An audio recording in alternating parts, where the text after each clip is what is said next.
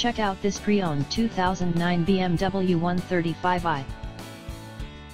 This two-door coupe has a six-cylinder, 3.0-liter i6 engine, with rear-wheel drive, and a six-speed manual transmission. This BMW has less than 88,000 miles on the odometer. Estimated fuel economy for this vehicle is 18 miles per gallon in the city, and 25 miles per gallon on the highway. This vehicle is in excellent overall condition. Key features include, cold weather package, sport package, heated front seats, navigation system, automatic climate control, MP3 player, Sirius satellite radio, anti-lock brakes, cruise control, keyless entry, power steering, OnStar, moonroof, leather seats, power door locks, stability control, traction control, and power windows.